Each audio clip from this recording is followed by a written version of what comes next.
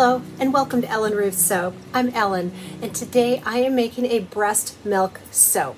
And I've made these before in the past um, and today I'm going to do it again. My sweet niece uh, had weaned her baby and found some old breast milk in the back of her freezer and she didn't want to toss it out because I think breast milk is like liquid gold.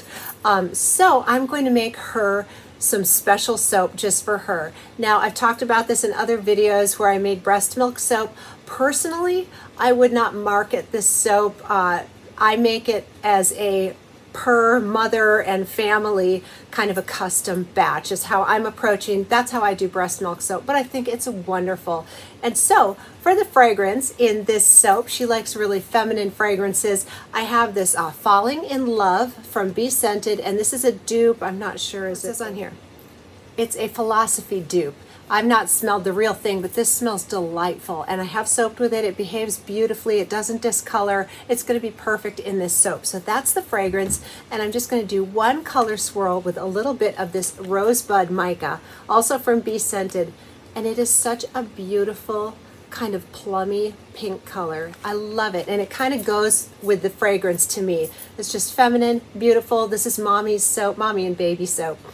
Uh, so I am going to bring you along while I prep the breast milk and make my lye solution with that. I'm not doing milk and oil because I have a lot of her milk and I want to have 100% milk in this soap. And I will share the full recipe for today's soap down below and the volume of what I'm doing, making, you know, the size of batch that I'm making. Um, so I need to get everything pulled together, get my equipment out, get my breast milk out, it's frozen, and bring you along as we make some really gentle personal custom batch breast milk soap. All right, we're back. And the first thing that I want to do is prep my oils and then we will get to our breast milk lye solution. So the first thing that I like to do when I'm getting my oils prepped is measure out my hard oils and butters and get them melted and then add my liquid oils. So first things first, I've got to add my coconut oil, palm oil, and cocoa butter are the three hard oils and butter that we're using today. First oil and is coconut oil. I need 15 ounces of coconut oil. Okay, there's our coconut oil. Now I need 15 ounces of palm oil. And the last hard butter is my cocoa butter wafers. I got these from Wholesale Supplies Plus. Um, I have gotten them from Be Scented. Uh, I just like the wafers because they're so easy to measure out because uh, cocoa butter is so hard. So I'm a wafer fan, but any cocoa butter will do. And we need two ounces of cocoa butter.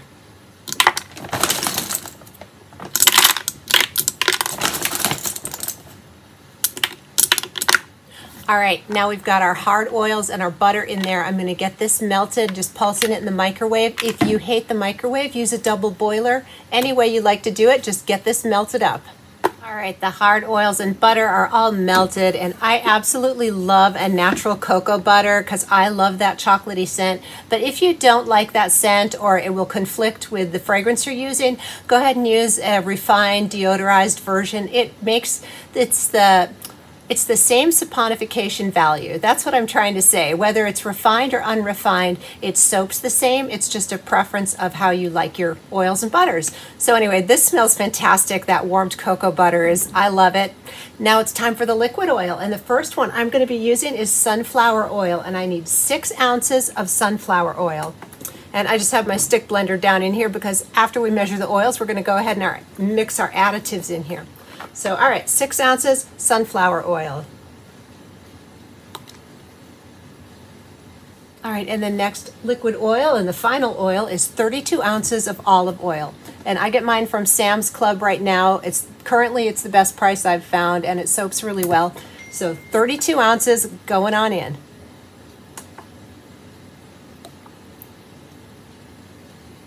All right, we're back for the soap additives and uh, I like to add dry ingredients at a rate of about a teaspoon per pound of oils. You can go up to a tablespoon per pound of oils and not overload your soap, but I usually go around a teaspoon. And so my two tablespoon scoops, you can see this is a little lower volume than what I normally do. So I'm going to ballpark. This is a two tablespoon scoop and I'm doing it shy. So I'm gonna call this probably about four teaspoons is what I'm doing or thereabouts. Again, it's not a super specific um, thing where you're you're gonna you're, you're not going to hurt your soap if you get the wrong volume of your dry ingredients in there. Only if you added like a cup of powder in a small batch. I mean you can go crazy with it. But if you're using a teaspoon per pound or in the range of that you're not going to overload your soap. You're going to be just fine. That was my colloidal oatmeal because it's so gentle and i love it in soap.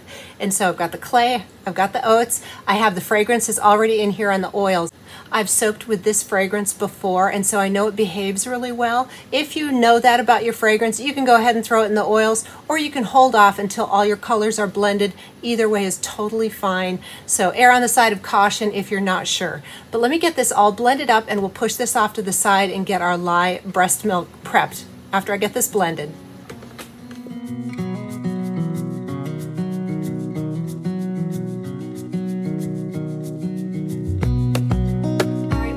Back and let me tell you what we've got going on in here. But first, let me show you. This is a little paint storage can from Lowe's or I'm sure Home Depot or any hardware store. They make great lye containers. They come with lids. They're super inexpensive. They have measurements on the side. So these are fabulous, inexpensive soaping containers, just FYI. But what I have in here is 23 ounces of breast milk. You could do any milk you want. If breast milk icks you out or you don't have any, or you could do coconut milk, frozen coconut milk, goat milk, oat milk, you know, any milk you want. But today I'm showing you how to make 100% milk soap. And I actually calculated this whole recipe based on the amount of milk I had. Usually I figure out how big of a mold I have and then I go from there. But today, because this is a special ingredient, I had to weigh it out and then I calculated my how much soap I could make with this much milk. So there it is, 23 ounces, and here is my lye sodium hydroxide, and it is 9.8 ounces of sodium hydroxide. I'm going to be adding it in here very, very slowly, and hopefully it won't yellow up too much if I'm super, super cautious. So I'm just gonna sprinkle a little on here and let it sit for a minute and it will start reacting with the moisture in the milk and Again, you know, goat milk and coconut milk, any milk, if you're doing a full milk, I suggest having it frozen in little cubes or even a slushy consistency. Um, that's the best way to do a full milk. Now, I do like to do milk and oil method when I'm not doing a full milk recipe because it's so easy and quick. Um, and the prep time's a lot easier than this, but here's how you do full milk. Also, because I'm doing a full milk today, I'm not going to be adding silk or sugar because I don't have water, I don't have anything to melt it into. And I'm hoping to add this lye slow enough so that the temperature of this milk will not rise very much. So it will not be warm enough to melt my silk fibers. Um, and once you add the lye, you can't add the sugar because it just doesn't dissolve properly. So no sugar and no silk in today's recipe.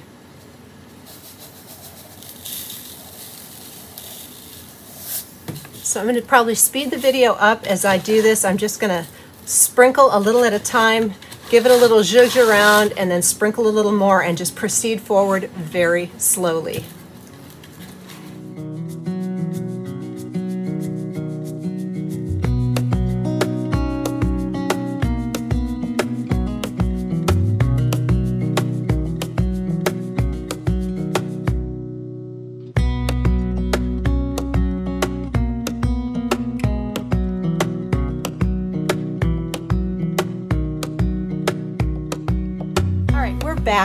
And I have my lye all the way in here. It's fully melted and it didn't even get that hot because I went very, very slow. So let's take the temperature. I'll tell you what it's at. We're at 82 degrees and then over here on our oils, we're at 91 degrees. So that's perfect. I'm very comfortable soaping at those temperatures. Also today, for this volume recipe, I'm going to be using my double uh, tall, skinny mold from Workshop Heritage. So this is only going to make two loaves instead of the triple that I normally use, but it's still a tall, skinny. So I'm going to put that off to the side.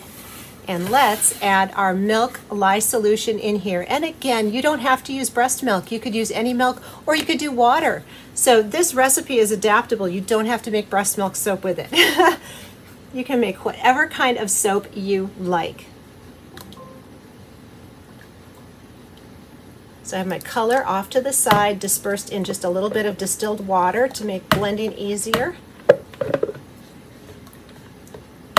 And I'll probably do a hanger swirl today if everything's behaving. So I like to stir a little bit and then pulse. And stir and pulse. And that's how I get it up to emulsion. And emulsion just means all of the oils have bonded with all of the lye solution. And the oils are not going to separate and float on top. All right. Let's get to our color and get this in the mold.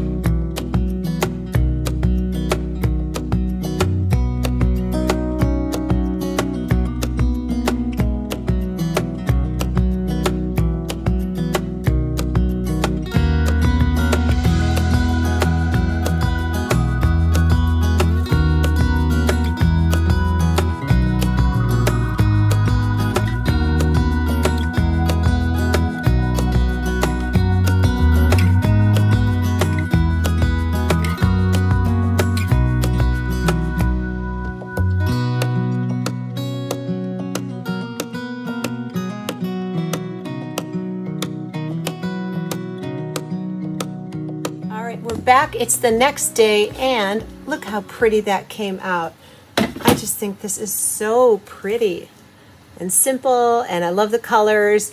Uh, I did put the wood lid on here and put a blanket over it, so this did go through gel phase, even though it was full milk. I like to gel my soaps pretty much all the time, so that's how I rolled. But if you don't like to gel and you have a milk soap, right after you get it in the mold and get your top done, you can throw it in the refrigerator and just leave it overnight. Either way is fine. So let's get this out of the mold and see how that swirl came out on the inside.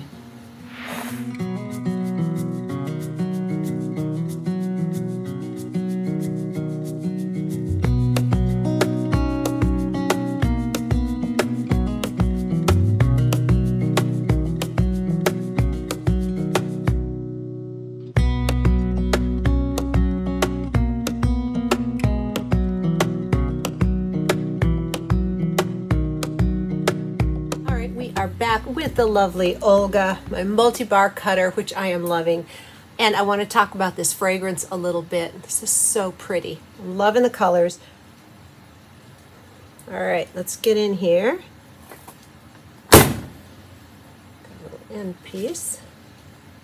And oh my goodness, look at those beautiful swirls. So pretty. So, so pretty. So yeah, let's talk about this fragrance, Falling in Love. And it is a dupe and it smells so good out of the bottle. It is very light in soap, but I actually think that's nice. If you're making a very gentle bar like this, you know, breast milk soap, I didn't want anything super knock your socks off and powerful. It's just very, it's almost like the essence of the fragrance is in there. So even after it cures, I have soaked with this before, and uh, it soaked really well. This was a nice slow trace. This would be a great fragrance for an in really intricate swirl, but it worked today also. Um, but it's just a gentle, beautiful, subtle fragrance, and I thought that went along perfect with the theme today. I'm loving these colors. And here, let's see if we can see. See how it's a little bit yellow tint cast, but look how white it is here. As this sits, this will lighten up as it's exposed to the air um, it just kind of rolls that way, but I think that's beautiful. So this fragrance truly does not discolor at all either. So it is good all over the place. I love it. And these swirls are making me super happy. All right, let's get into the last loaf here. And again, I only have two loaves to cut today because that was the double mold. I'm really enjoying my Workshop Heritage molds. Um, they're just very sturdy. I like the double and the triple. I think they're fantastic.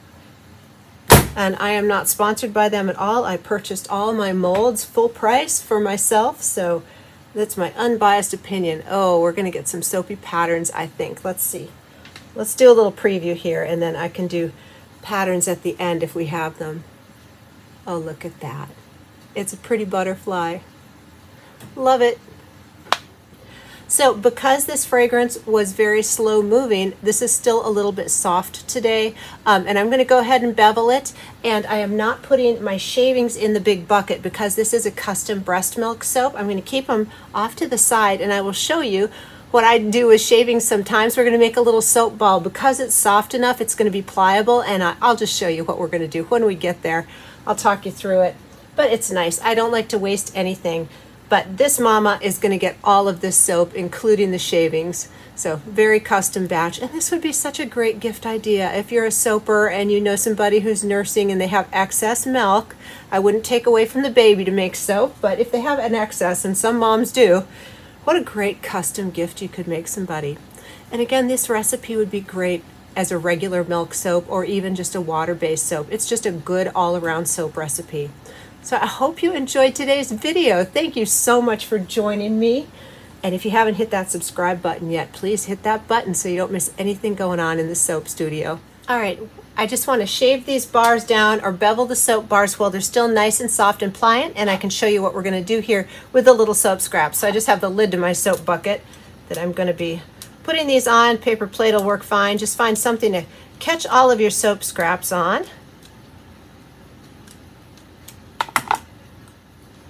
And it, you can see it's still kind of sticky. Sometimes when I shave and the bars are really firm, they don't stick on the beveler at all, but this one is sticking. This beveler is just a KitchenAid vegetable peeler. I love it. It's just nice and sturdy. Any vegetable peeler will do. Um, it's like it's just a really inexpensive soap piece of equipment.